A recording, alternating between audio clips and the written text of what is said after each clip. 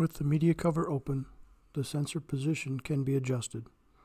Using the dial located on the side of the unwinder, move the sensors to the necessary position. Note the position on the ruler markings.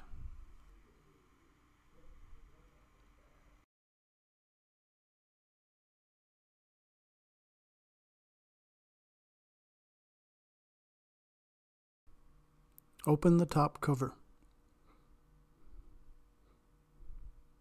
Raise each toner cartridge.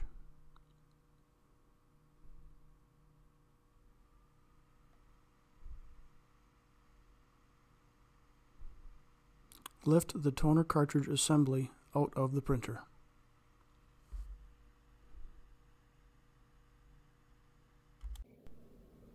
Cover the toner cartridge assembly to prevent light exposure. When removing the transfer belt assembly, note the position of the connectors on the side of the printer. Be careful not to damage these connectors. Turn the two blue dials to the unlock position. Lift the end next to the unwinder using the blue handle. Once that end has been lifted, use the blue handle on the other end and lift the assembly out of the printer. Carefully put it aside. Using the dial, adjust the sensor position to match the position of the input sensor.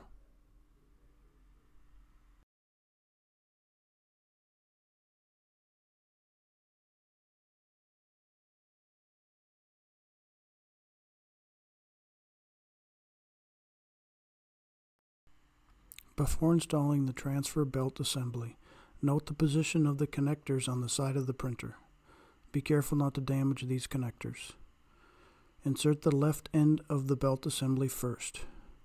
Make sure to line up the arrows on the back left side, one on the printer, one on the assembly. Lower the assembly into place.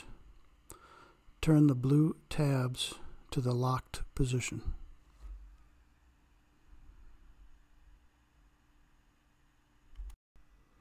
Install the toner assembly tray. Line up the arrows on the left side, one on the printer, one on the toner assembly. Lower the assembly into place. Lower each toner cartridge. Make sure they're fully seated and close the top cover.